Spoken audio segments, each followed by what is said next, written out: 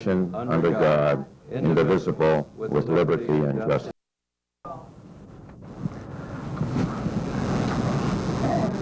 And now, in light of the activities of the past week uh, that we're all aware of, uh, I thought it would be appropriate for us to have a few minutes uh, retrospection or reflections on current events, possibly how they tie to events many years ago. So, uh, George Stiftinger will uh, do this. Thank you, Don. Can you hear me all right? Heavenly Father, we thank you for this day and the opportunity for the Abington World War II Memorial Association to gather for a few hours of reflection and remembrance. And as we acknowledge our responsibility to remember those killed in action during World War II, we also remember those who have been killed in the recent cowardly acts in New York City, Washington, D.C., and Western Pennsylvania. Lord, we commend to your mercy and compassion those whose lives were unjustly taken by those who embrace violence and hatred. We pray for the families and friends of the victims. May they know comfort and have hope that you, the source of all goodness, will welcome them, the loved ones who have died. We thank you for our health, and we remember the sick veterans who are being cared for in hospitals throughout the country. We also remember those injured in the recent acts of cowardice against our country. We ask your blessing on those present who are suffering either personal or family sickness. We pray that these remembrances will stir us to action so we can better serve you and help alleviate the suffering of those devastated by the recent attacks on our liberties. We also ask your blessing on the firemen, police, and other emergency workers and volunteers and rescue units, that they can cope with the horror that confronts them every day as they search for survivors and bodies of the victims. Amen. So you want, you want to take this? Oh, was that all right? That's good. And you're next. Okay. And now we have uh, quite a bit to cover tonight. And now we have quite a bit to cover tonight, and uh, so without further ado, our speaker for the evening, Eugene Girer. Good evening. This is a story of the 90th Bomb Group of the 5th Air Force who in the Southwest Pacific and were nicknamed the Jolly Rogers.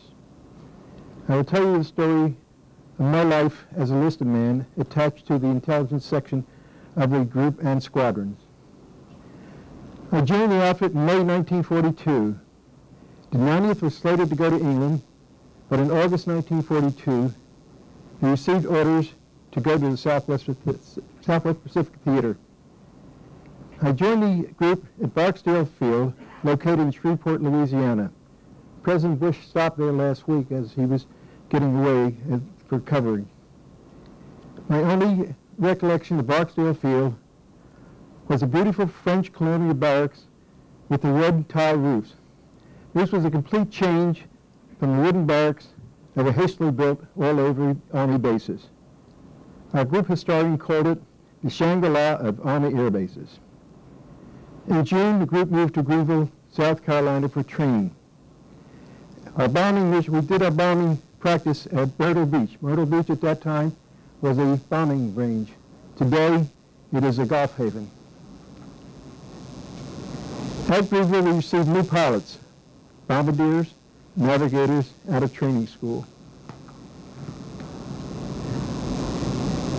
Done. This is the range of which I participated with the 90th Bomb Group. The area you see encircled, no, go back, John, Don. Here. No, back, no forward. We need to hire a better... The area you see, oh, this is the area that we covered. Up to Japan. We started the war at Iron Range, which is the northern tip of Australia. I'll talk to that. We had one squadron over at Darwin.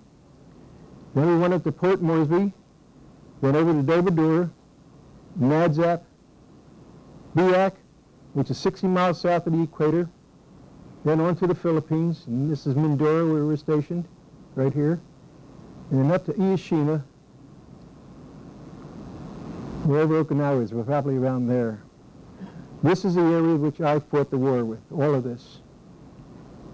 Okay, Don. That's our slogan.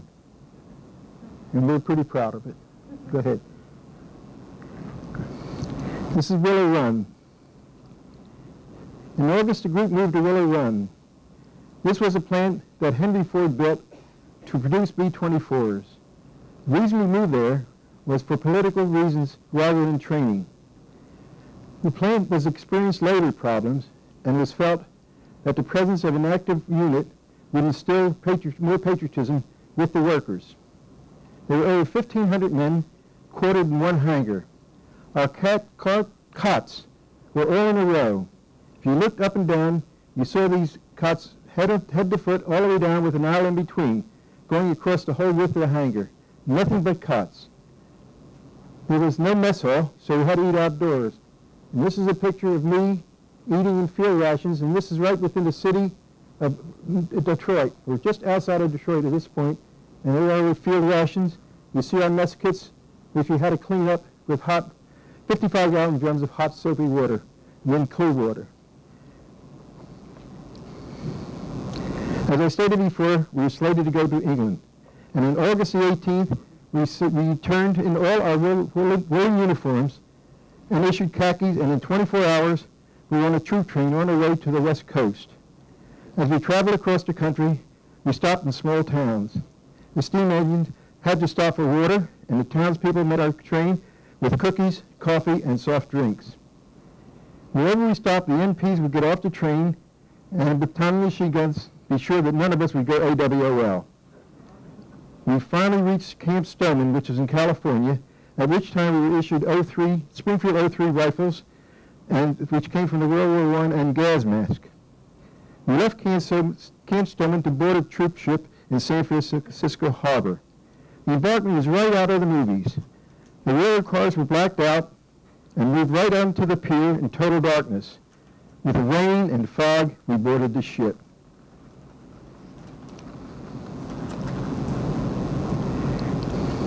Our ship was the Republic, a leftover from World War I. Few of the men had ever been aboard the ship or even seen the ocean.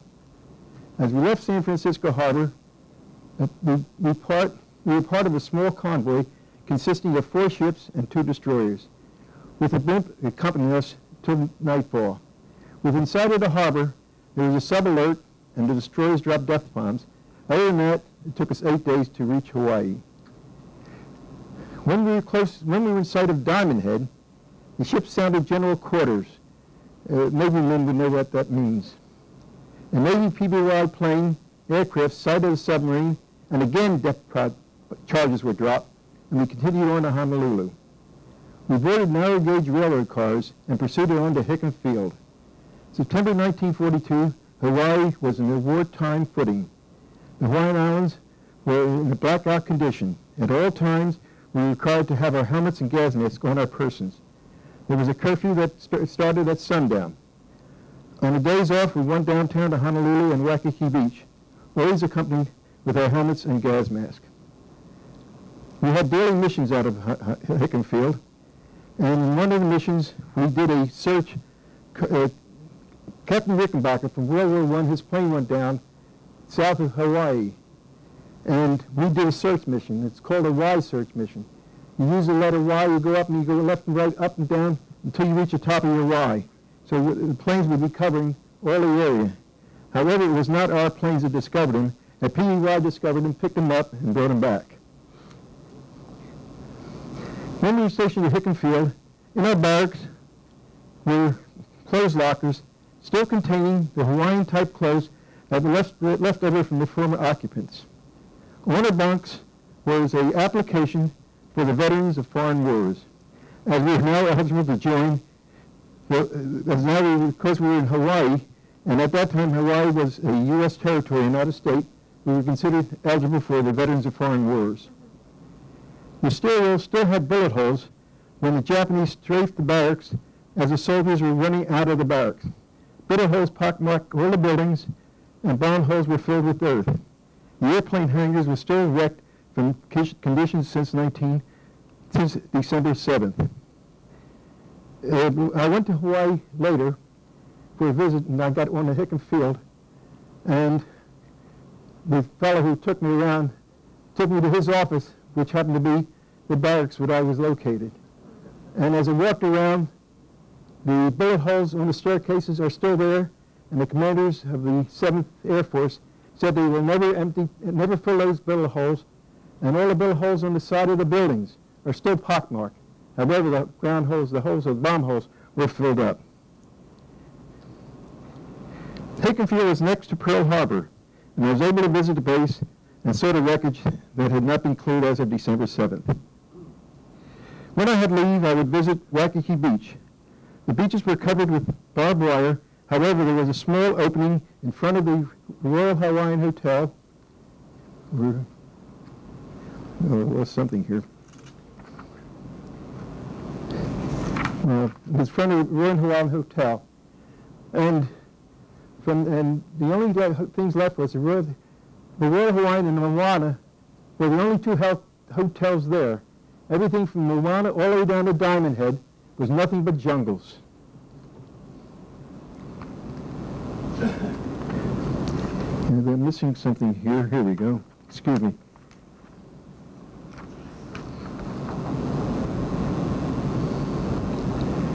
November 7th, we boarded a Norwegian freighter and was named the Torrens. We were accompanied by five destroyers and two battleships.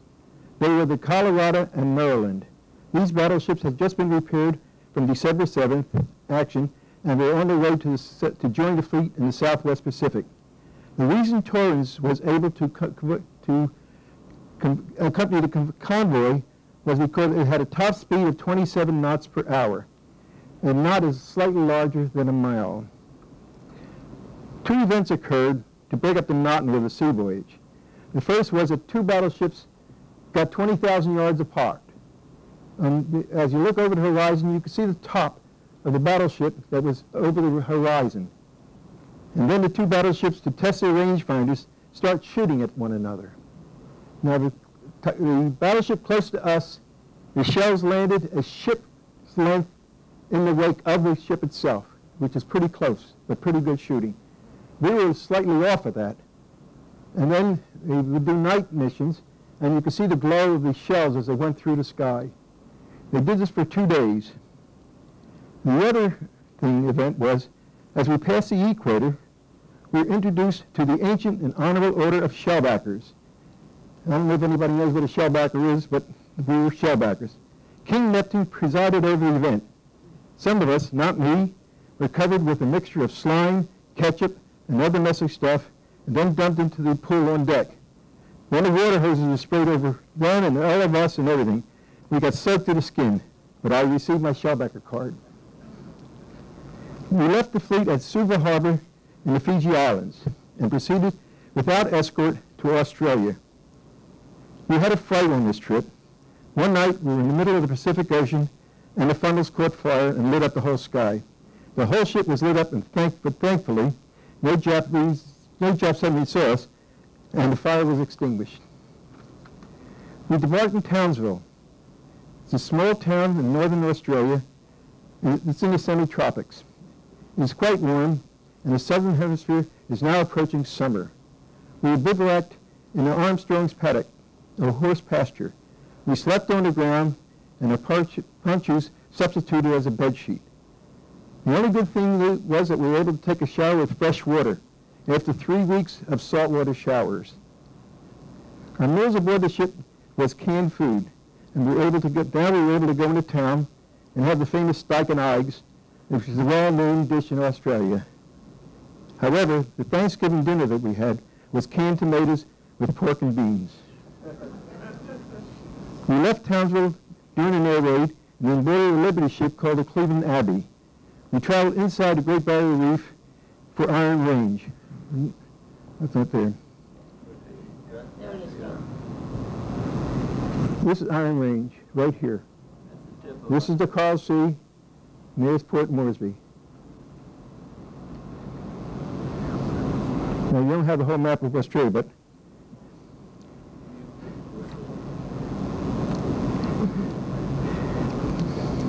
when we stopped at Iron Range, I could see palm trees and jungles, but no sign of civilization, not even a hut.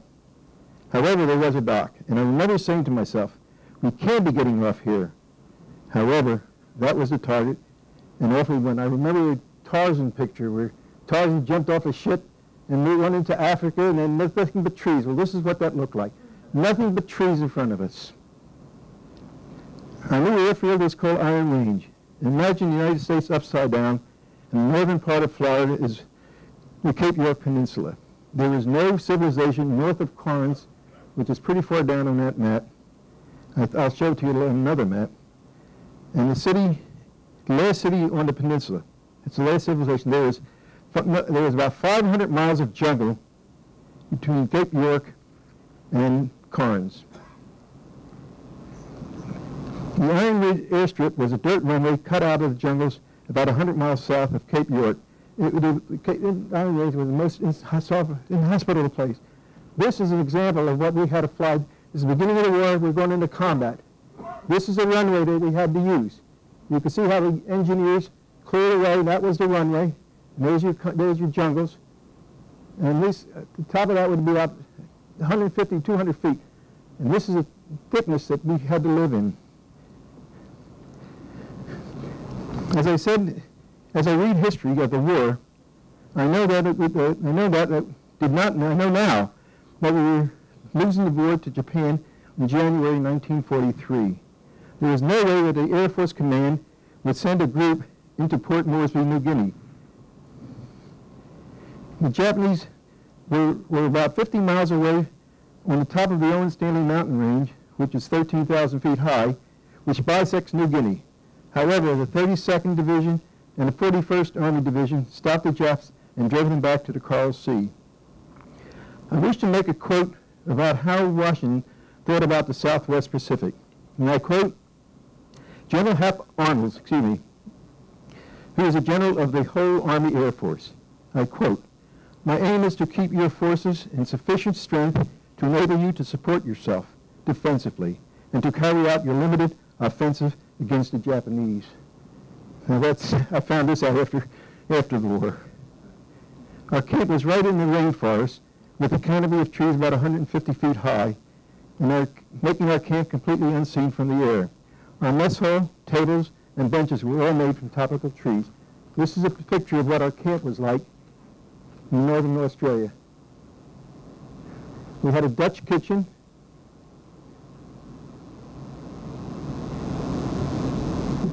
Food. And this gives you an example of what we were living in.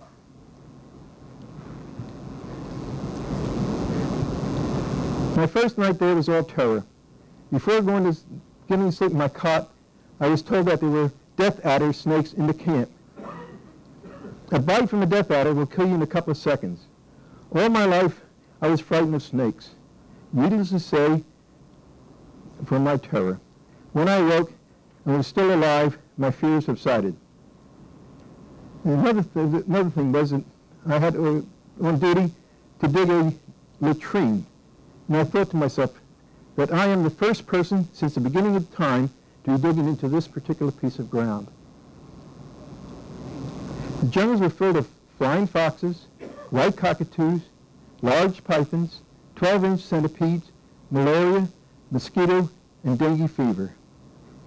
A ritual in the jungle, in preparing to go to sleep, first you examine your blankets and sheets layer by layer to make sure that none of the centipedes or scorpions or black widow spiders had curled into the warmth of your bed. You tuck yourself in a mosquito netting. The mosquito netting is a solid sheet around the bottom that you tuck in around all around your cot. And so you're completely enclosed. However, there's always a mosquito gets inside the net and buzzing around to keep you awake, to keep you from falling asleep. All of these mosquitoes were the Anopheles, which carries a malaria parasite. The ritual, this was a nightly ritual until we reached the Philippine Islands. Upon waking in the morning, you note that the, pre- uh, the previous, you note that the previous mentioned insects did not crawl into your shoes. You always shook them out, and you shook your shoes before putting them on to make sure you, you gave up wearing stockings. But you want to be sure that no, none of these parasites got into your shoes. One day I picked up my barracks bag and found a tarantula the size of my fist under the bag. In the rainforest, you do not know if the sun is up till noon. The trees are so thick, and the forest exudes all horizontal sight.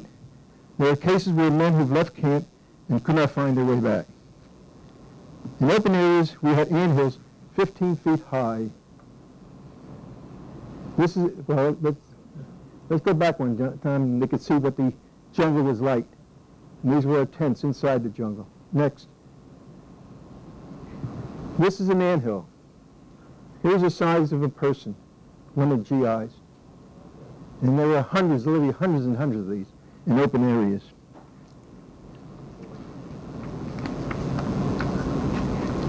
One evening, 30 of us went for a swim in the ocean that was about 10 miles from the camp. We loaded in trucks and jeeps and headed to the Great Barrier Reef. The tropical waters at night have luminous particles that light up in the foam as you walk through the waves. It's the most beautiful sight as our legs and arms of all of us, it seemed to light up the whole ocean. It must have been around Christmas time when someone suggested that we sing Christmas carols. Now you have a picture of this. The headlights of all the vehicles were covered with mud and gave off a glow like a yellow light that resembled a fireplace. And there we were, balls naked, singing Christmas carols. Now remember, this is December 1942. As I stated before, we were losing the war. Also, we were isolated on Cape York Peninsula. There was nothing below us. And suddenly, there's an alarm that the Japanese were going to invade the Cape York Peninsula. We took all the 50 caliber machine guns off the planes and formed a perimeter around the base. We were given extra ammunition for our 03 rifles and waited throughout the evening and night, but in the morning it was determined that it was a false alarm. Food at Iron Range was corned beef hash, which we call corn willy. It's prime, it was the prime food of the day, day in and day out. The cooks used to figure out different ways of making the corn willy so that it would be palatable to us. Our bread was baked by the Australian bakers with, with raisins, which were actually cooked insects. You know, we- you know, we, we were completely isolated. This is the beginning of the war. They didn't care about us. We didn't know it at the time. We had to live with what had, what we had. While at Iron Range, we lost three air crews due to missions. Tokyo Rose was beamed to the Southwest Pacific. We heard her playing American swing music. We welcomed the music as it broke up the day. She also mentioned that the Japs knew that the 90th Bomb Group was located at Iron Range. We made up airdrops to uh, Australian coast watchers. And you, you know the story of coast watchers from South Pacific, the show South Pacific. Well, these were Australians on New Guinea. They were in the mountains and observing Japanese troop movements on land and reinforcements coming in on barges. this is something. One morning we had roll call. Now we're completely isolated from anything, so there's no way anyone could go anywhere. Still, we had our roll call every morning. Now each morning there was a tree about 20 feet round, and all the men going up the hill roll, for roll call would urinate around that tree. And I mean, this is every morning. During the months of January and February, the tropical rain season started. It rained almost 24 hours a day. We looked for the dry spell of one or two hours in a 24-hour period. It, it is, it, I, you, you cannot imagine what it's like to have rain coming all the time with no breaks, just these small breaks. Just confined to your tent.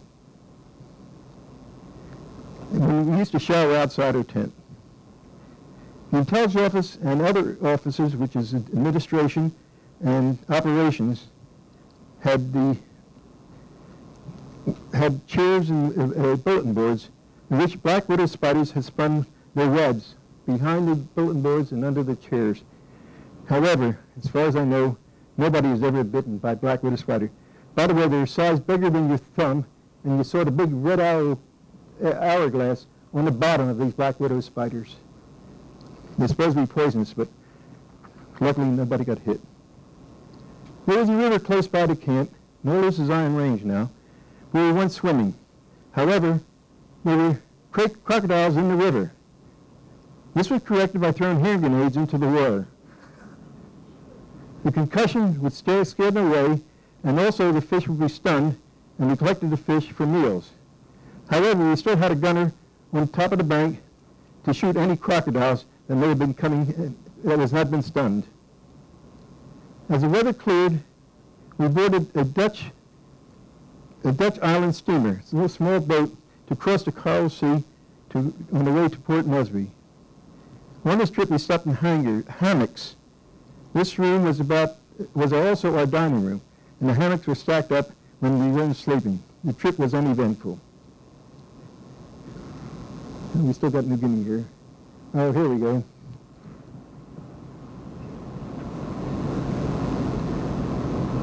This is the Coral Sea right here. And we're now getting to Port Moresby. I'll get to Dobodura later. Port Moresby. When we reached Port Moresby, we were greeted with the largest daylight air raid of the war. There were 45 bombers and 60 fighters. They bombed our runway about a mile from camp and started fires by hitting some oil drums along the way. After the bombing, P-38 fighters on the next trip of ours attacked the Japanese formation and destroyed 13 bombers and 10 fighters. Now there's one thing that just reminds me that I didn't talk to you earlier. Opposite our camp in this valley was a bomb dump. And had that air raid hit that bomb dump, I wouldn't have been here now. And we thankfully went further up. Major Bong, who flew 38, who, who, who flew B, B-38, uh, excuse me, I'm getting dry here.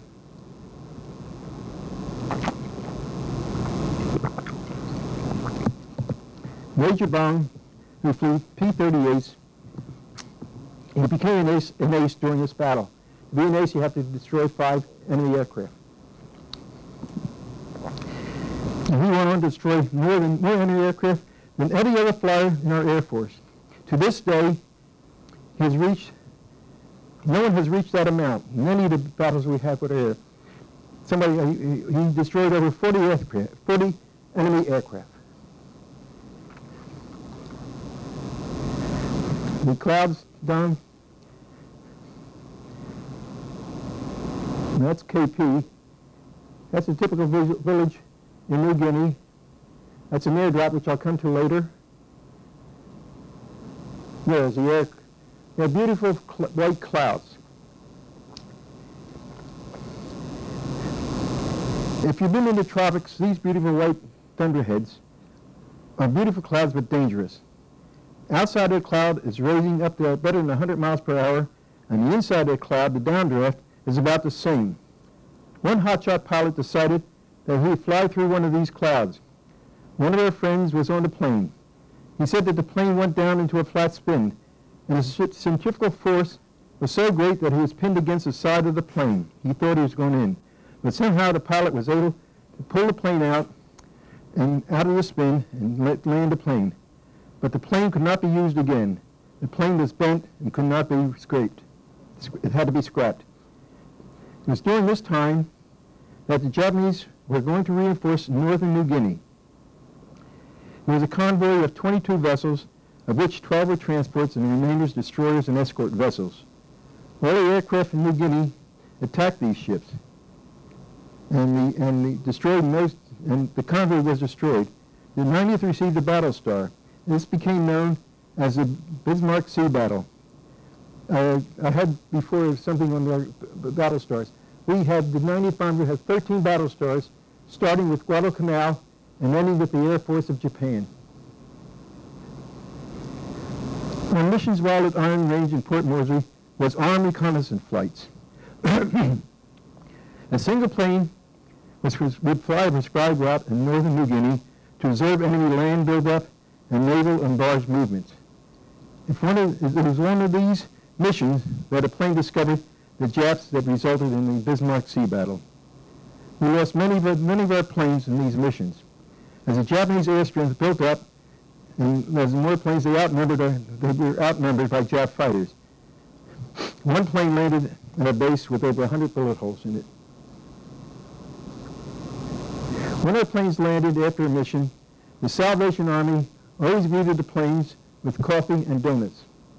The crews received a shot of whiskey from the medics. Some of the crew members saved these shots and be taken at a one lump sum later on. I'm, going, I'm up to, what do you have next, Don? I don't know. What do you have on? All right, this is a bombing missions. This is a cruiser. Shows some pictures of some of our bombing missions. This is a cruiser with a direct hit. Next, Don. This is skip bombing. Here's a bomb in the air. Here's a bomb in the water. And on here, well, you can see some of the crew members. And we had to resort to this because sometimes you're coming up too high, you couldn't catch the Japanese, with, they would be maneuvering out. So the planes came down the deck and dropped their bombs as a torpedo, and it would go right into the water, and you'd have the air bombing. Next. Here's a destroyer, direct hit on a destroyer. These are all Bismarck Sea Battle. Here is a Japanese shrine. There's a NACAC position, command post. Here's your jungle. Go ahead, Don. Are you going the wrong way? A native village. In November, we were lucky to attend a native festival. This was a spear throwing contest, the target being a tall stand of coconuts, and the native chiefs were dressed in full regalia, regalia made up of bones and large sea se- leaf shells. Tall feather hats and the faces and bodies were covered with white shells. And then we have some more pictures. This is just one of them. This is the throwing contest. It was a post instead of a shells. I got it wrong. And continue. There's a, there's a chief with his shells. There's some more of them. There's a whole group of them. They did, did a war dance for us. It's January 2nd, 1944. And here we are. Here's some Australians who were there.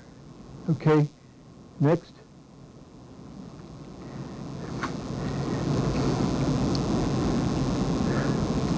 Uh, our summer the crew had a bailout in New Guinea, and luckily we landed near this village. And with the parachutes, they made the Jolly Roger emblem. And what you can see in this picture was the natives were made, two natives were made up the eye sockets, and two other natives led head to toe to make the mouth. And we were able to recognize it. And uh, this, this photo appeared in Life magazine at that particular period. Uh, was, I'll get to it later. While I was in New Guinea, I had a bout of chills and fevers.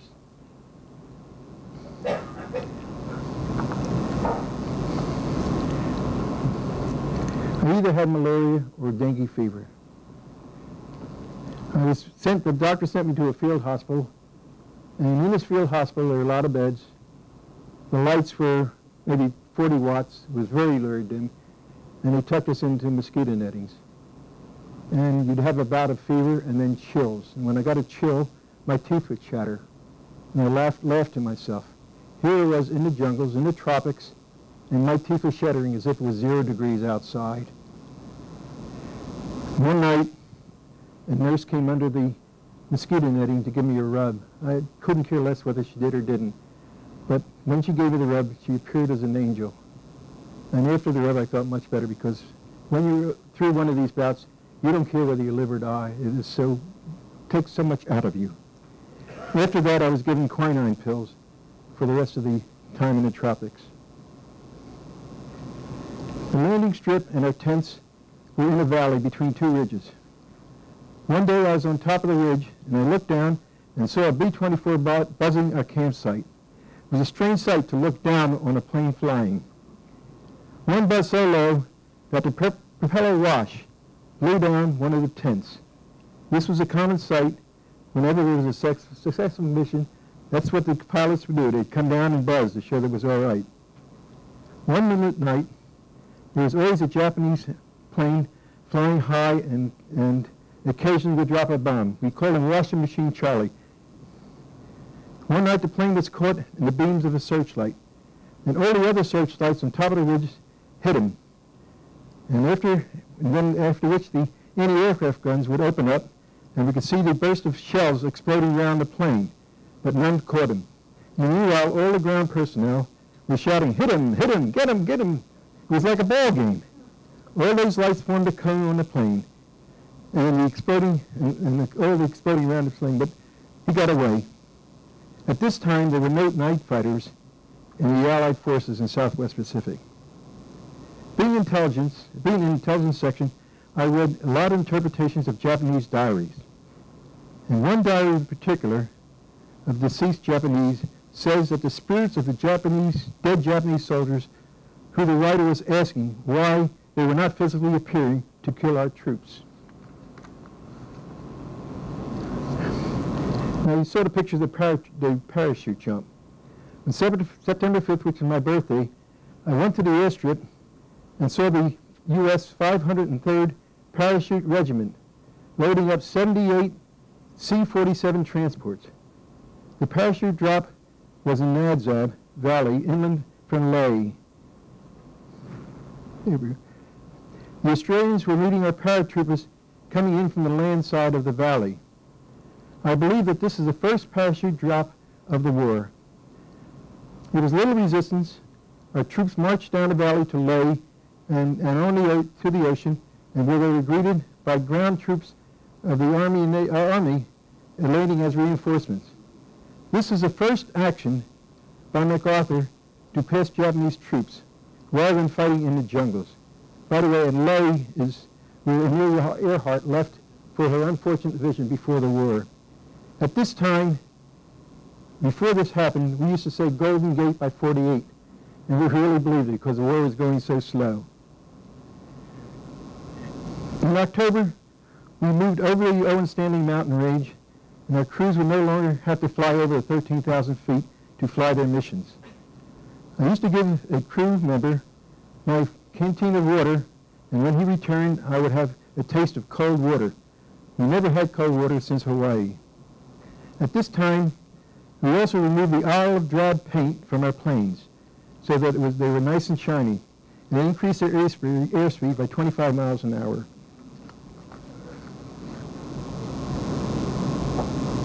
One crew I did that. We had planes go to Australia to bring back whiskey, Coca-Cola, candy, milk, and PX, and the PX even bought an ice cream machine. While in Dobodura, it was Christmas 1943, we had a Christmas party in our mess tent. Now we're, on, we're now on the north side of New Guinea. We're no longer at Port Moresby. It was Dobodura. If you remember the map I pointed out, Dobodura and Port Moresby. We're now in Dobodura. We took oil the liquor from the enlistment club and filled 15, ket- 15 gallon kettles with scotch, another one with whiskey, another one with rum, and all diluted with a lemon drink. And we drank our mess kits from our mess cups, which is, holds about a pint. Needless to say, there were about 200 men who, had, who were pretty well soused and singing all kinds of songs, which I won't mention. Suddenly around midnight, we heard Christmas carols coming from the chapel, which is about 100 yards from us. Suddenly, we sobered up, and that was the end of our party. MacArthur's strategy of island hopping, leaving Japanese strongholds back. Oh, I'm sorry, I had something else. Our strongholds. Our groups gave aerial support for all these landings. We bombed the beaches, further inland, against gun emplacements and troop concentrations. The landings being made by the Marines and Army. We had recreation in Mackay, Australia. We flew there. It was my first leave in almost two years. We had hot, hot showers. Now, you've got to remember, it's almost over over a year that we never had a hot shower, and can, you can't express the, the feeling of having a hot shower after having nothing but cold showers. We had fresh food, steaks, good old American apple pie and ice cream, milk, and recreation. This lasted about two weeks. About this time, MacArthur took Manus Island. John, can you get a map? Here. Here's Dobodura, where we are now. This is where they, here's Manus Island, right here. It's between New Britain, which is, these are the Solomon Islands, and here's New Guinea. And he took this base here, Gen Island hopping. There was little resistance, but it was strategic, strategic, strategically located between New Guinea and the Solomon Islands. Now the Japanese could not supply the small enclaves in the south and east of New Guinea. As we moved past these en- enclaves, the Japanese would plant vegetable gardens. But however, as soon as the vegetable gardens were ripe, we would have low-flying medium bombers spray them with diesel fuel and starving out the Japs. At Nadzab, we bombed Hollandia in Dutch New Guinea. We're now going to Dutch New Guinea, which is not owned. This is the chapel on the Dobodura where we heard the Christmas carols at midnight that stopped us, stopped our party. Go ahead, Don. That's our camp at Nadzab, which is very nice. Go ahead, Don. There's a B-24, and here is the nose, they call a glass house,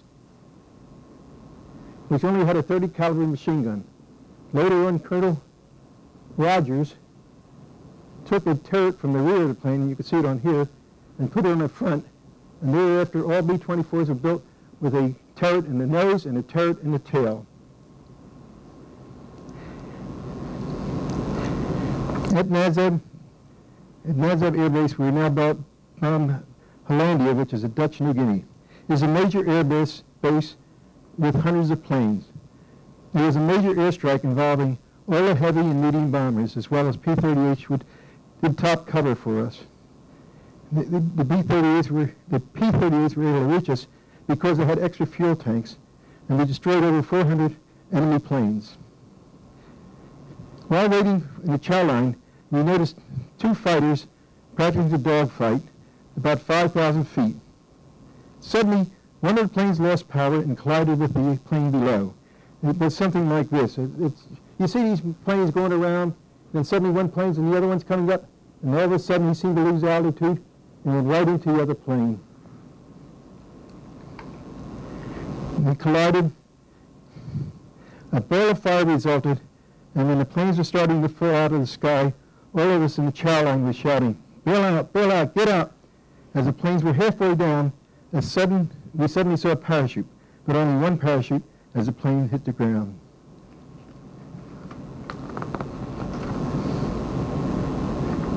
It was now the beginning of 1944. We had three heavy bomb groups in the Southwest Pacific now. We were, at the beginning, we were the only one. A few of our airmen were captured by Japanese, and after they were interrogated, they were decapitated. Some also were, were in Tokyo prisons, and they died when we were bombing Tokyo. I received this information after our, at our, one of our annual meetings. In April 1944, our troops landed in Hollandia, and we were now in Dutch New Guinea. While we were in Nadzab, and I've got to read this, one day a large officers' party, we had a large officers' party, and we invited nurses and Red Cross ladies. The ground personnel was unaware of this party, and our showers had not been installed, and I was taking a hose bath, which consisted of two helmets of water, one with soapy suds and the other for rinsing. There I was with my tent mate, balls naked, and a road that ran beside our tent and past our tent with loads of these females. It happened so fast that there was no reaction on my part, and the ladies just laughed. But this, but this, by the way, this was the first females we had seen in over in months. Don, I think I, right now, I think we have the pictures of the Japanese uh, airfield and the bombing mission, the bombing. Yeah, there it is. This is a reconnaissance photo of an airbase, a Japanese airbase. Next.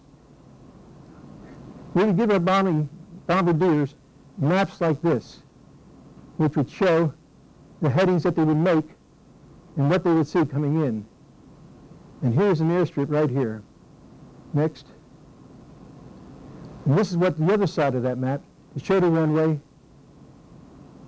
and the revetments.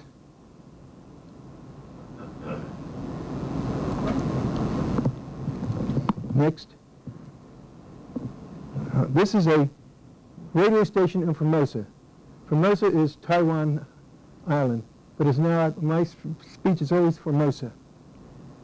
There's a powerful radio station. We found this through photo interp. Right in here, this is a shadow of, a, any, of an antenna that the Japanese had. That's how we found out there was a radio station. These are smoke, smoke, smoke pots. There's an anti-aircraft position. And these are some of the things that I did in photo interp work. Next. This is Formosa. This is a city in Formosa. And here's a bombing pattern. Now, one day our mission was to destroy a city. So three squadrons with demolition bombs hit one section of the city. I'll say like this. And the fourth squadron had incendiary bombs. And they were coming down here. And incendiary bombs would catch fire, and all the demolition was ripe for destroying the, that town. And this is one of the missions that we flew. Next, I think, is the radar. This is a picture. Now we're later in the war, and we got radar now in our planes.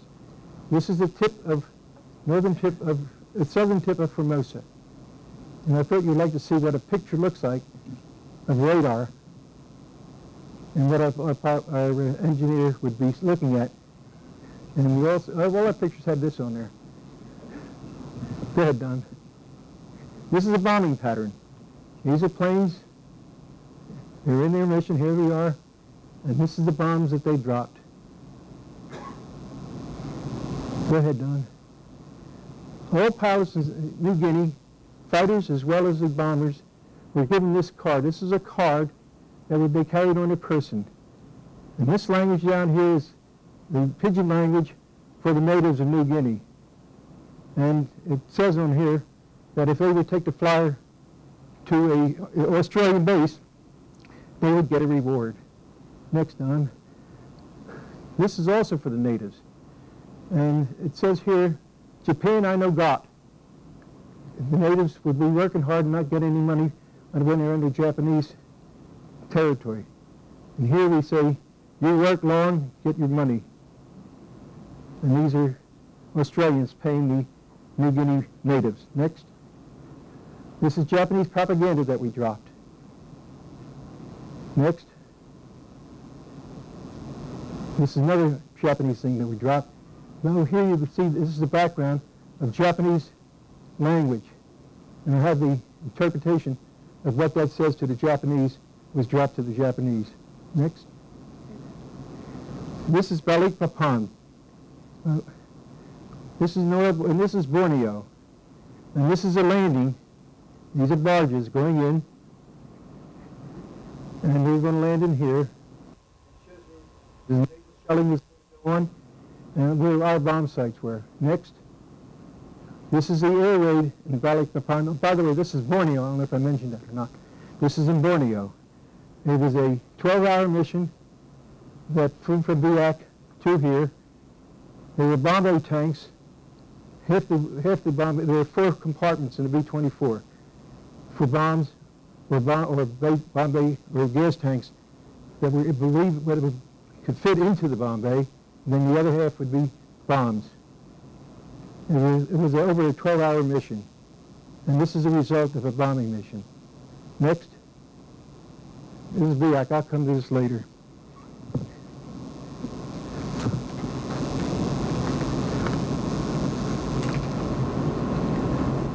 Let's go back to NADZAB. When our showers was, no, that's all right. You when our showers was installed, it was always outdoors. And the cold water supply came from the nearby mountains. I remember lifting my mouth to drink the cold liquid. Jack Benny and Carol Landis entertained us in Nadzab in August 1944.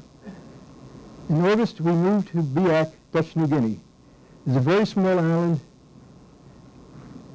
Here we go. This is the equator right here. We're 60 miles from the equator. When we arrived at our encampment, the Japanese were still in the caves about a mile inland. The artillery was still shooting into these caves as we were setting up camp. No showers had been installed, so we had to bathe in, in a knee-deep wide creek about a mile from camp. About a hundred yards inland, there was an opening of a large cave. So I swam into the cave and went inside. It was about 50 feet high and about 575 yards wide. And the top of the cave had a beautiful blue-green coloring, the reflection of the sun rays from the water from the top of the, to the top of the cave. I still remember this beautiful coloring. Another day, we were bathing in the same water when an MP and the jeeps start getting us to get down, get down, get down. We, sh- we shouted back the heck with them. They were waving their hands to motion us to get down, and we just didn't pay attention to them. Suddenly, a GI truck appeared, and there was Bob Hope and his female entertainers. Suddenly, about a hundred of GIs dropped to their knees. At the same time, the entertainers covered their eyes. It happened so fast that we were all dumbfounded.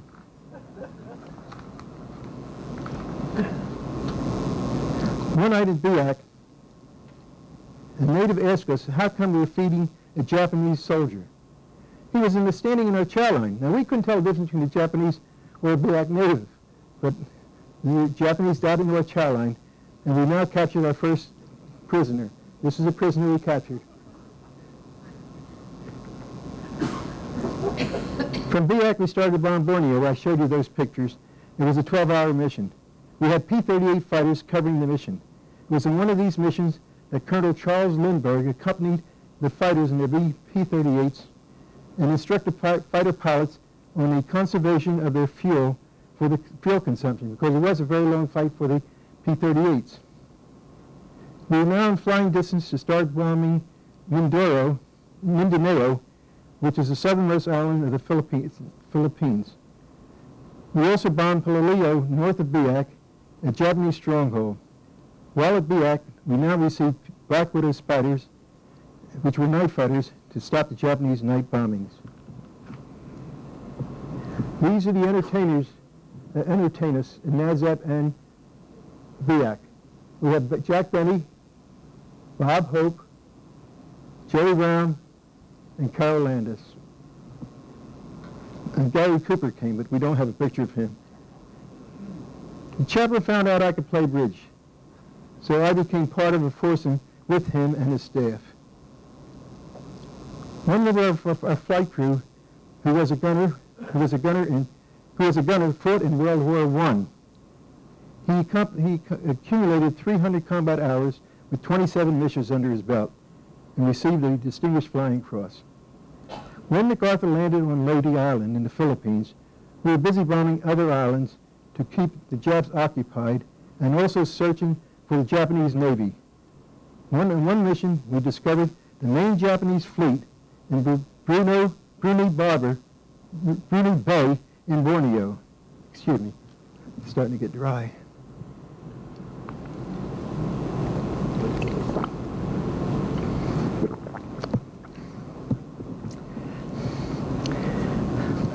January 1945, we moved to Mindoro Island, just below Luzon. Our campsite was right on front of the infantry defense perimeter, with machine guns all facing toward the ocean. Seems like they were expecting a Jap landing, which never materialized. We then moved, they moved out the next day. Our camp was located directly in line with the runway. One morning, as the planes were taking off, there was a few hundred, uh, only a few hundred feet above our tents. The roar of the engines seemed to explode in our ears. Since, since in the past a few B-24s didn't make the altitude and crashed, a few of our personnel left their tents early in the morning and went up to higher grounds. There are three clash, crashes that I'd like to make comment on. When a plane takes off, the flaps are half. Now, I don't know whether ladies understand this, but there's a, behind the wing is a little flap to help the plane have more lift. So they usually use half lift, half flaps to take off. Well, one plane, plane the co-pilot pulled the flap lever to fill, full flaps. This is equivalent to putting on the brakes hard. And the plane went into the ocean. Luckily, there, there, there was no bomb explosion, and the whole crew escaped. Another plane attempting to land lost power and seemed to float down to earth and settled about 100 feet in front of our tent. Another plane headed for a mission crashed on takeoff about a mile inland. As I was walking to the crash site, I suddenly heard the Bing Crosby record being played from a native hut which was on stilts. This was a very primitive area, and I was surprised to hear Bing Crosby singing.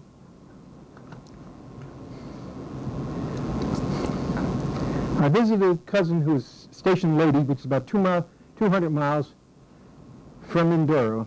So I caught a flight over to visit him.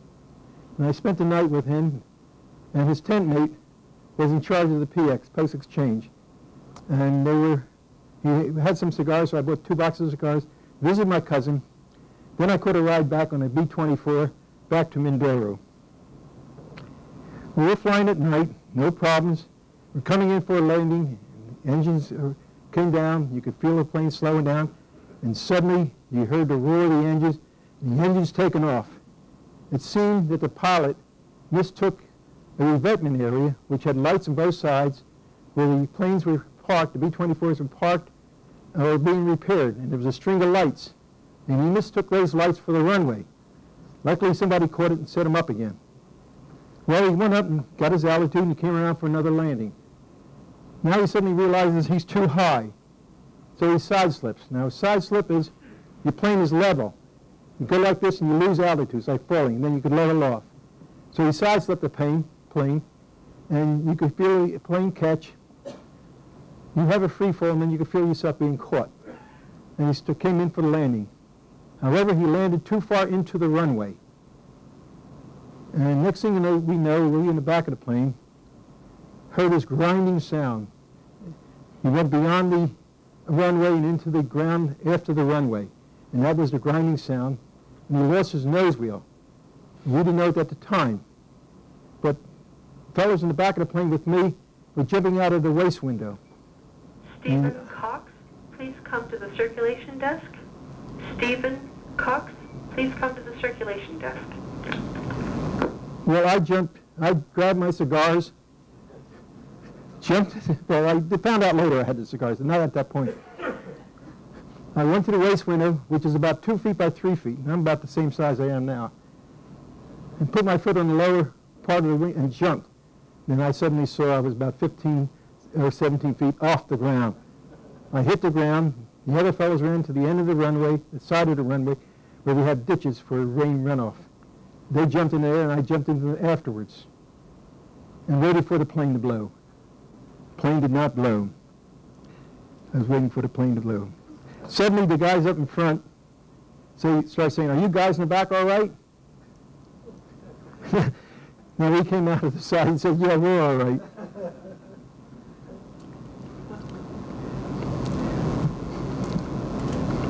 Suddenly, now, all of a sudden, the tower realizes that the plane had landed was not coming back to a revetment area. So he turned on the spotlights and looked down the runway and saw our plane with the tail up in the air, something like this. Ground, like that.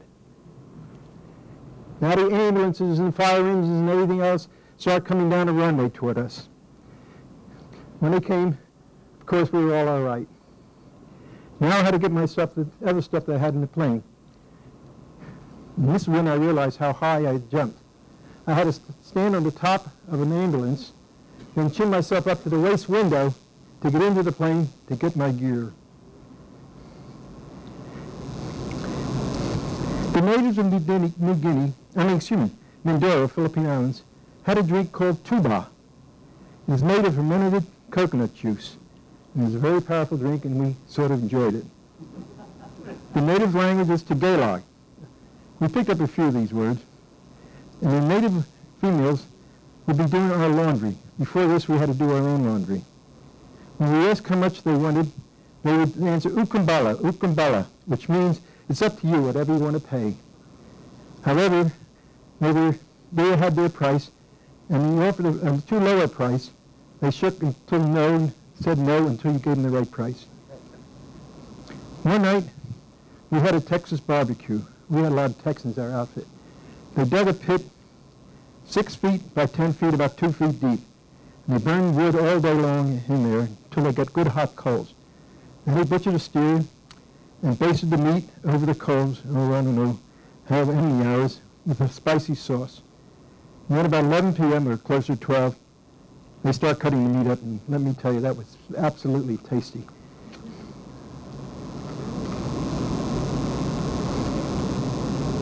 In 1945, I moved up to a town in the Philippines on Luzon called Floridablanca. It was advanced section. The Philippines invited us to a school for dinner and dance to celebrate the victory over the Japanese. There were young ladies at the dance. They were accompanied by their duanas.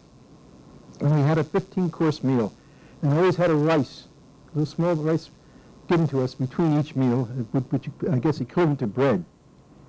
Our camp was guarded by Filipino guerrillas because as the American forces going down to Lingayen Gulf, that's the infantry, the Japanese fled into the hills on either side of the valley. And then later on they would come down at night and kill any U.S. personnel in their tents. One day we had to go to Manila for supplies, and the city of Manila was completely in ruins. MacArthur Boulevard, which faced the Manila Bay, had which had beautiful white marble buildings, were destroyed. Don, could we get those Filipino pictures?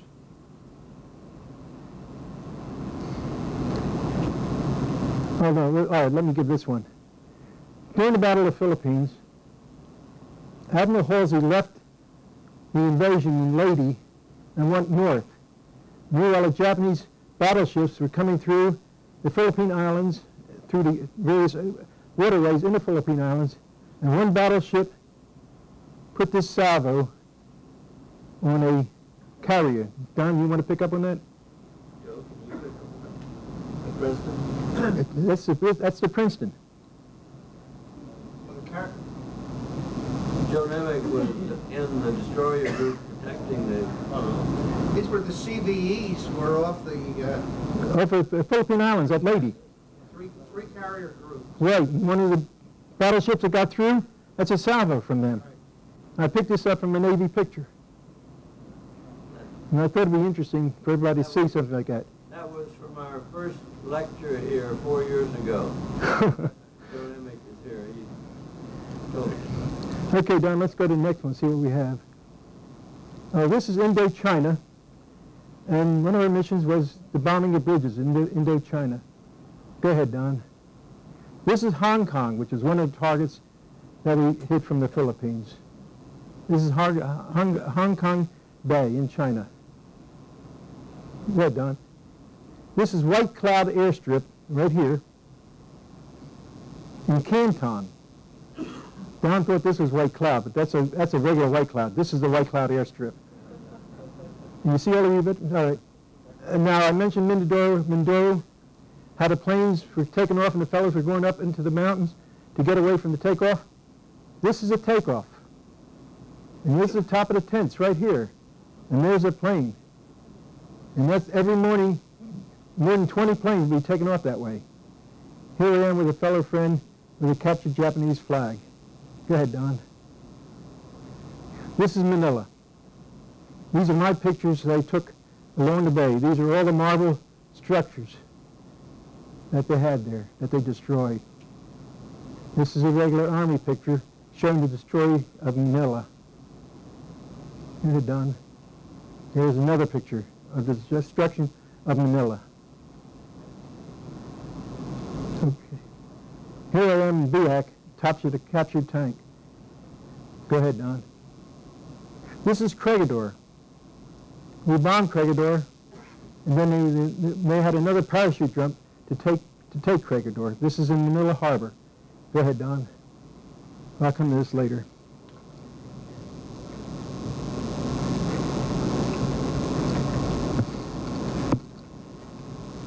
Our, our supply, when I went into the middle, our, our supply group had to stay overnight in Manila and couldn't find an army base to sleep.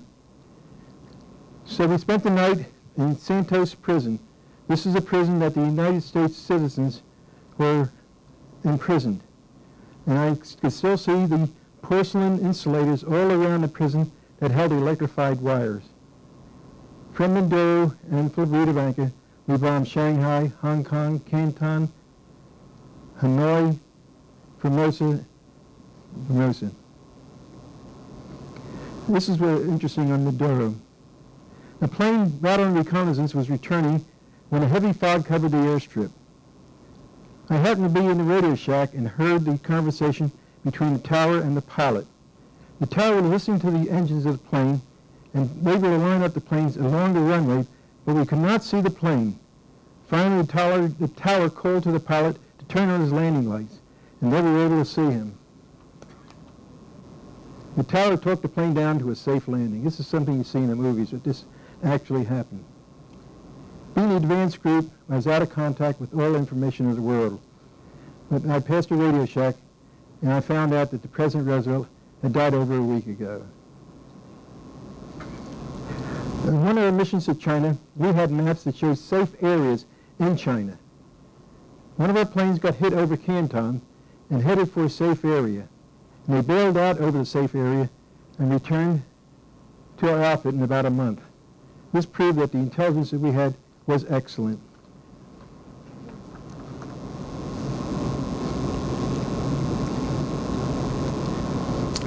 We had movies, this is miscellaneous. The movies were held in the theater areas with red benches. The movie was usually an old picture and it came in three or four reels. After each reel, we'd stand up and wait until the next reel was inserted into the projector. We had movies about twice a week. Since our missions were over water, now we have this picture. The Navy had submarines stationed along the routes of the mission. If a, flew, if a crew or a fighter pilot was down, they would be rescued by a sub or a PBY, Navy like Catalina. In a lot of parts of the world, we had B-17s with a boat attached to the undercarriage. The plane then could be dropped, the plane would then drop the, the boat into the water.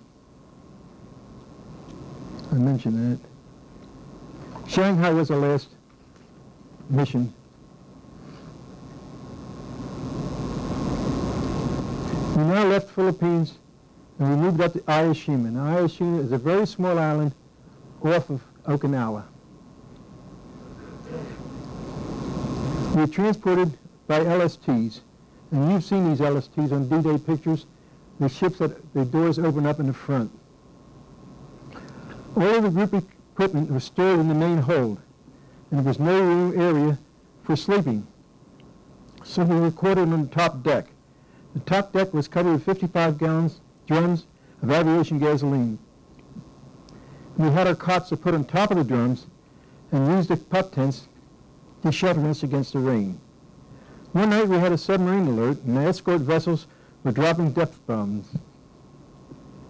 And the LSTs who were in line straight ahead made a right turn so that they would have the rear of the boat facing this and making the smallest target for the sub.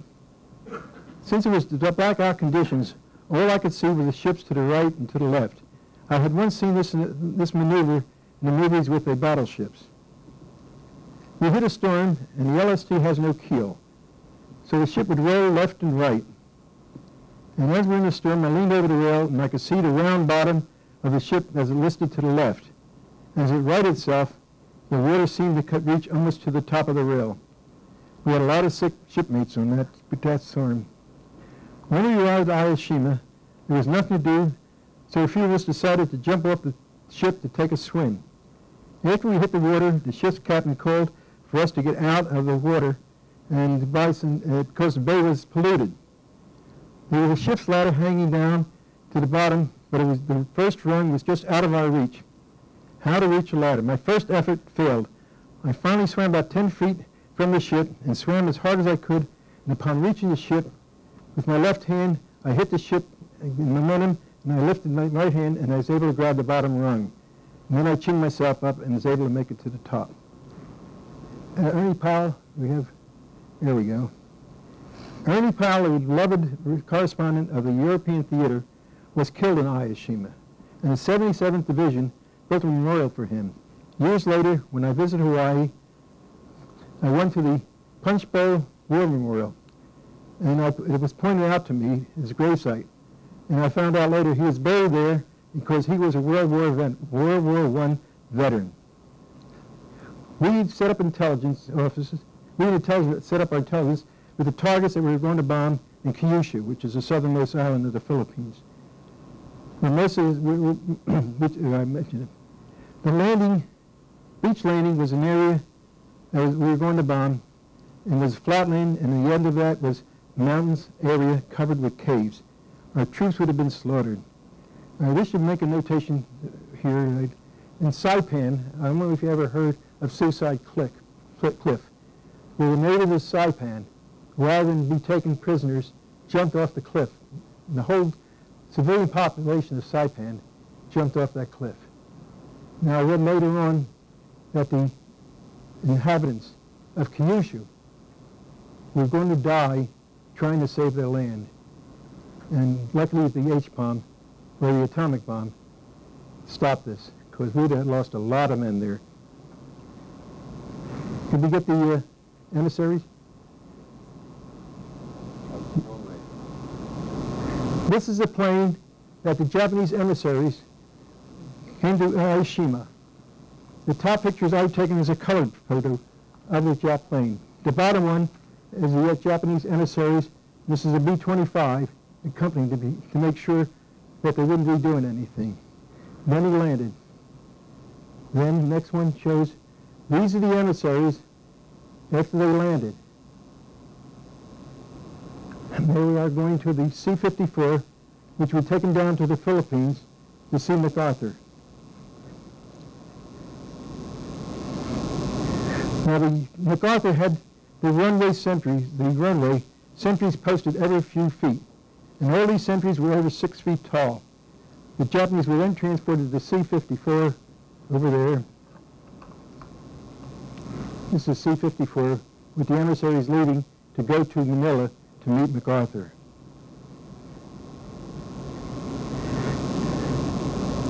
On August 25th, we flew an armed reconnaissance flight over Japan with other 5th Air Force units to observe the Japanese who were following the instructions that were given to the envoys.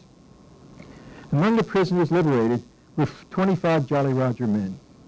Now the 90th Bomb Group still lives today, and it's the 90th Space Wing Station in Warren Air Base, Wyoming. And the squadrons are still the same. There, there was a 319th, 320th, 321st, and a 400th squadrons that made up the 90th Bomb Group. And even today, today, the missile, we once had a reunion out there at the 90th Missile Swing Wing. And that's the end of my talk. But do we have time for Charlene? No, questions, yes. Oh, is there any questions? Yes. You said you made, why did you make copies of those charts for the other planes? I, I I doubt if you have Xerox, you have to just keep hand drawing them? Those mountain charts. You mean it was on here? No, that was in one of the books that was published by one of our, I had got that out of a book here that was published. How did you make them? When you made them during the war? Oh, they were printed, there was a printing office. Every place they had a printing office to make maps. The Because I, once I gave some, some PT men came up and I gave them some maps. This is the beginning of the war. The PT didn't have very good maps of some of the areas, and we had better maps. So the PT uh, sent some men up and we gave them some maps of the area they were operating. Go ahead. Yes. Did they just uh, skip bombing with the B-24s? No, they were B, B-25s. Now, B-24s wouldn't get that far down the deck. That was a B-25, yes. Uh, Did your group uh, participate at Bismarck Sea against the uh, con- the uh, convoy? Yes. Oh, yeah, that was definitely that. We definitely, uh, we, we uh, bombed on that, certainly. Other questions? Who were these emissaries? Well, when you said the We were Japanese emissaries. We came out of Tokyo. After the emperor sued for peace, we instructed them to send emissaries. And these were the people who would be signing the armistice of the war. Uh, Mr. Girer, Yes. uh, sir, um, it seems that what, what I've read is that uh, it's very difficult for high-level bombers to bomb ships that are uh, uh, turning and twisting to trying to avoid bombs. That is And, true. So, But we don't forget, we were not like in Europe. We were not bombing at 25,000 feet. We would be bombing at 50, 20, 20, about 10 10,000 feet, I would say, we'd be doing the bombing. But even then, you, you are correct. We did not, were not very successful in our bombing missions with the, with the heavy bomber groups. But there were times when we did. That first cruiser that you saw, that first picture with the cruiser being hit in the side, that was from the B-24. That was our colonel who hit that bomb, that ship. All right, uh, thank you, sir, for your presentation. Thank you. Anyone else? Ye- Yes. I didn't fly. I was in intelligence, and I was a ground crew all the way through. I went on some observation missions, but I, did, I was not a flyer. Yes. Those um, planes have the retractable uh, ball turret in the back. No, the B-24s had a ball turret, but we didn't use them during the war. It was easier to use a, put a gun where the uh, pho- photo hatch was, the photographer's hatch, to put a gun there. But it was very rarely that, because the Japanese very rarely attacked from underneath. And then we also, later on, at the beginning of the war, uh, there was very little we could do. And when they, the planes went out on the individual reconnaissance missions, they were pretty much on their own and it was just the side gunners and the rear gunner and the pea shooter up front until we got the turrets up front. The pea shooter, pea, uh, with a 38 caliber gun up at the, at the front. But, uh, oh yes, yes. Every, every mission, there was a photographer. Every, every, every group of three planes would have one photographer. Yes. Yes, I have up here, I have a bombing mission report. I have a, a type report of a bombing mission at Wi- and you're welcome to read it if you would like. This is what we would send to Bomber Command in concerning Wi- Wewak. Oh yes, that was a major target. Anyone else? Okay, my wife has a, Cheryl, you want to? My wife has a little bit that she had during the war that I think you may like. Don seems to think it was very nice, and she would have heard speak on it. Oh, you got to, take me off, Don. Okay.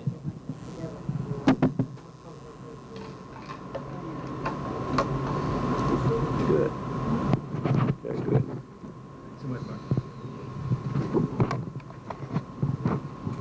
There. Fix you up. If my knees will stop shaking, I'd be okay. Here you Hang on to this, or, uh, Oh, yeah, I'll just put on here.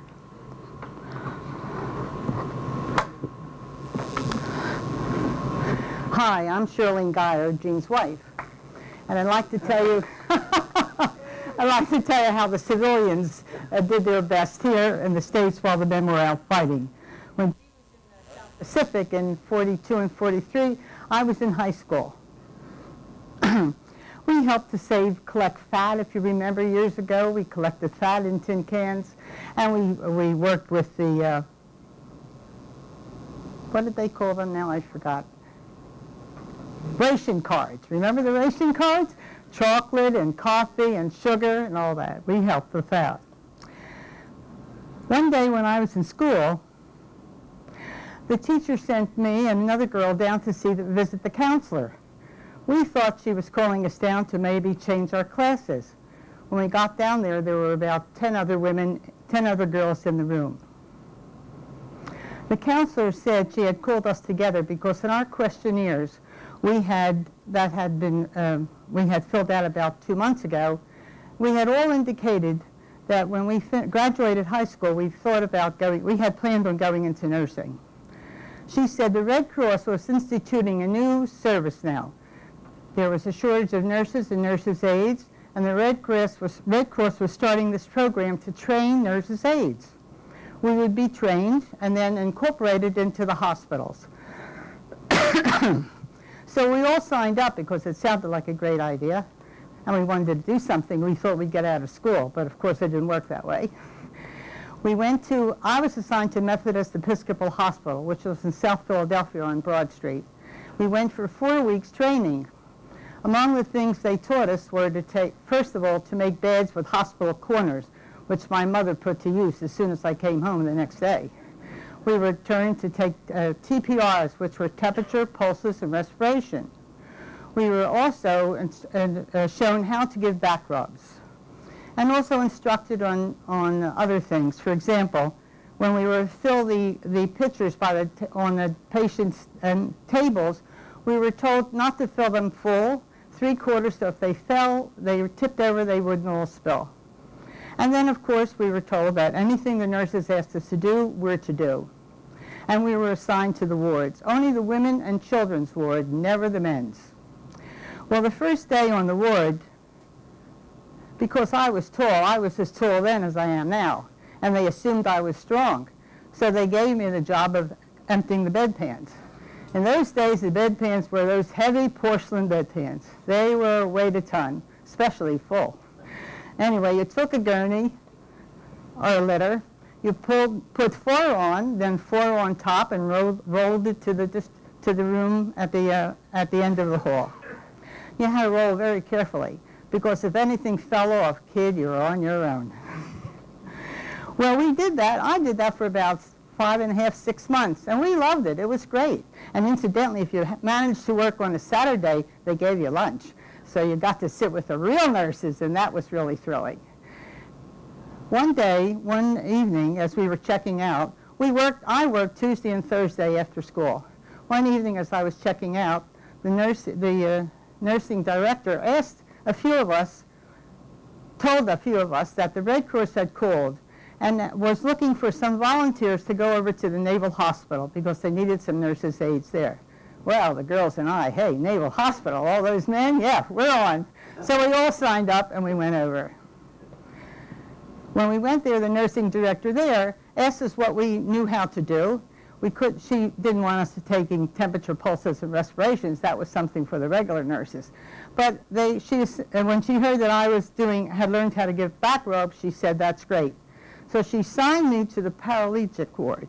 Paraplegic? Para, favorite? Para, right, okay. and this was the ward where, unfortunately, the men had been injured in, in battle and were paralyzed from the waist or hips down. So all I had to do was give back rubs. The fellows were great. You had to be careful. They were funny and they tried to grab at your skirt, you know, but on the whole, they were wonderful. They had a marvelous sense of humor. And when I would go home, I'd think, these guys are really great. Here they are lying on this litter. They can't do anything for themselves, but they can laugh and joke and, and cut up all day long. They were really a trouble. I would give a back rub, and I'd start at the shoulders, and I'd go down slowly, slowly, get through the waist, and they'd say, lower, lower. And I'd go a little lower, and they'd say, lower, lower. And I'd say, Navy regulations say I can't go any more lower. but they're always, you know, they're always kidding and calling you wherever, this hurts and that, rub my leg, rub my knee, you know. I said, I never go above the knee because Navy regulations say you're not allowed to do that. Well, this went on for a couple of weeks, and it was great. Except one day I went in, it was near the end of my shift, and one, I was giving one of the fellows a back rub, and he said, oh, this is marvelous. He says, I really like this. He said, could you rub my chest and my stomach? I said, of course I can. He says, well, grab my handle and turn me over. So I bend down under the litter, look for the handle. There's no handle there, you know. I get up, all embarrassed because I thought I must have missed it. You know, something's down there and I'm not seeing it. So uh, the nurse came over. She said, are you okay? You look kind of red. I said, oh, I'm fine. You know, I'm fine. And it was 4.30 or 5 o'clock, and I went home. Next day at lunch, I'm talking all the girls we meet at the lunch table, and I tell her what happened. Oh boy, did they give me an education? They told me exactly what was happened and what I should look for. Now I have to tell you that my dad was a reti- retired Navy man. He was in the Navy for 20 years and he came out, retired, got married, married my mother. And his brothers were policemen until he joined the force too. Now he's home and he's as a policeman.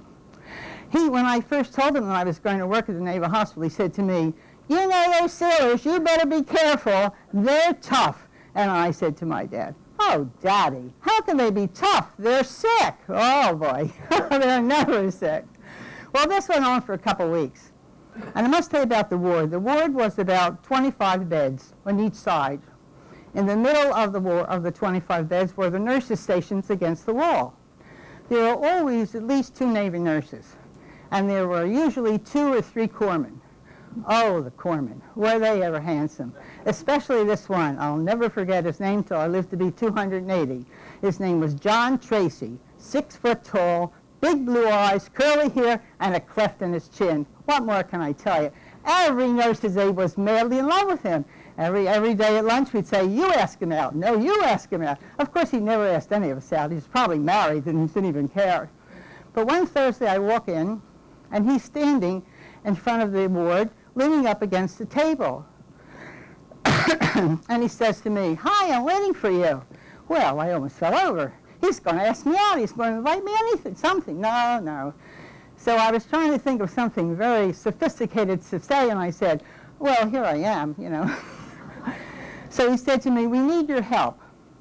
He says, the corpsman, his name is Porter, he's at the amputee wards, and they need a little help. The nurse is on her uh, dinner break, and, and can you go down? I said, well, I've never worked with the amputees. I really don't know what I could do for them. He said, you don't have to do anything. All you have to do is take this dressing table, roll it down, and they'll tell you what to do. so he steps aside, and there's this dressing cart. Excuse me. So I, I take the cart and I push it. Well, the cart has a bulky wheel that pulls to the left.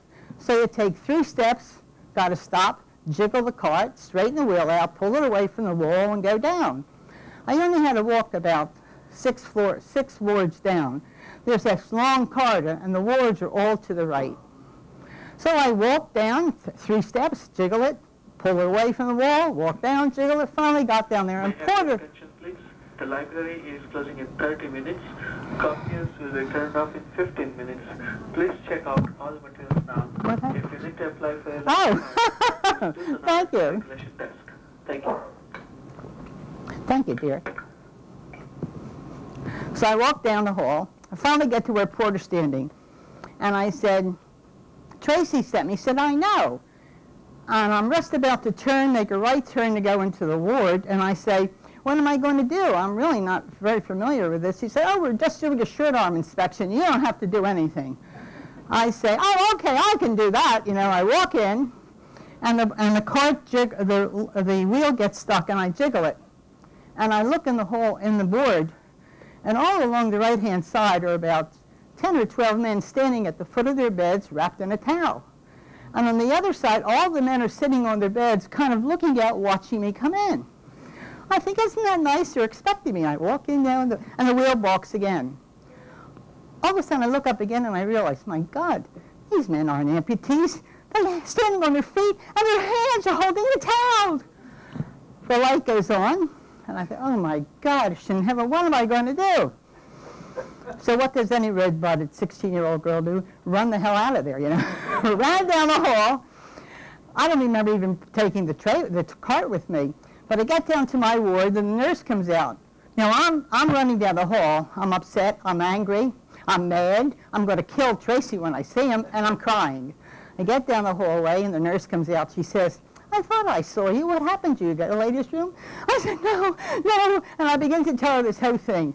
I'm sure she's going to go down to the ward and scream at the, oh, she says, sure, forget. it. They're kidding. You don't have to be upset about that. They, they do that to all the young uh, nurses' aides because they know you're all gullible.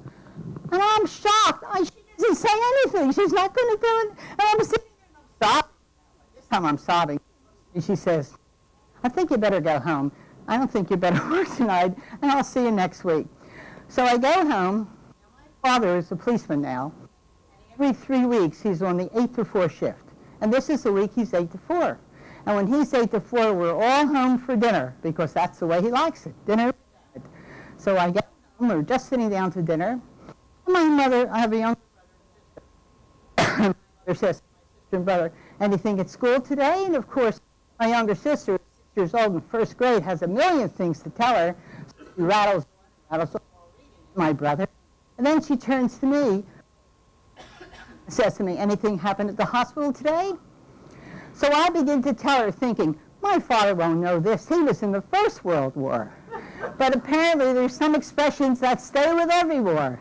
And the more I talk, the angrier my father is getting. And he's getting red. And all of a sudden he's choking on his coffee. And my mother has no what I'm talking about. My father gets halfway out of his seat. He says, I'm going to the hospital. I'm going to talk to the nurse and I'm going to beat those guys up. And my mother says, Charles, sit down. Finish your dinner, and then we'll talk about this. so he does. He sits down, and after dinner we talked about it. He talked about it. I listened. Needless to say, Friday morning my mother called. She spoke to the nursing director. She said, I'm sorry. Shirley won't be able to be in for hospital service. She's going to transfer to the Bloodmobile. And that's another story, too.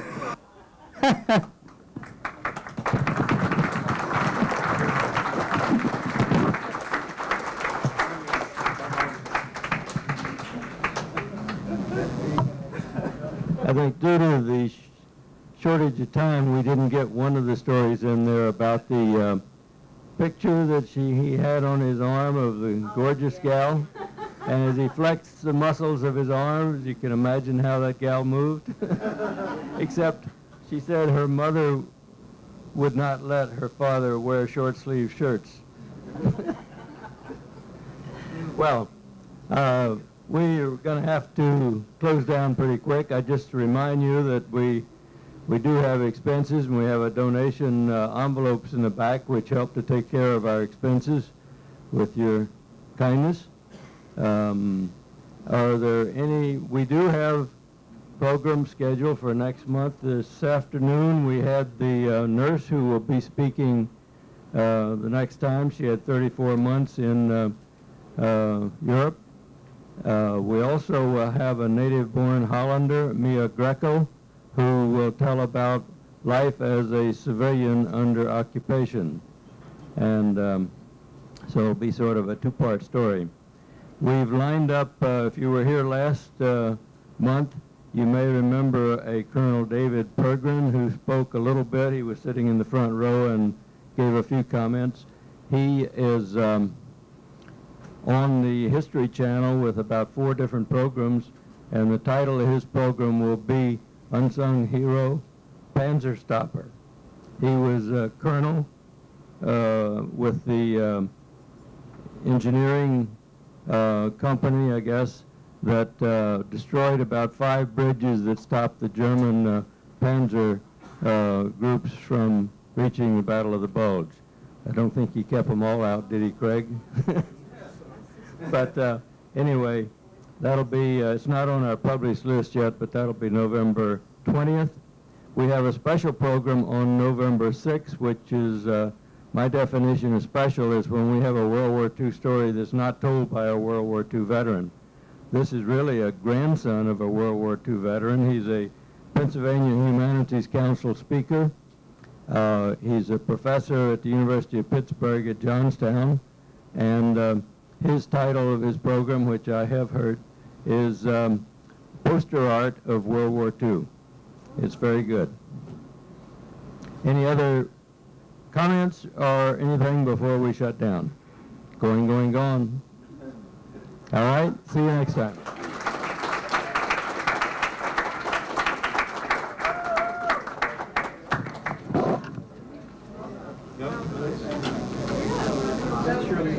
Okay.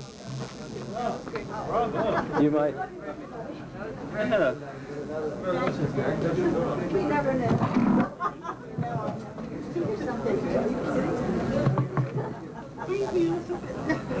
Well, how'd you like it? Same time. But Don, did you say the November 20th, the nurse, and also the... Uh, October 16th is the nurse and uh, Holland, uh, native Hollander. October 16th? Yeah. Yeah, right. It was great. Lights out.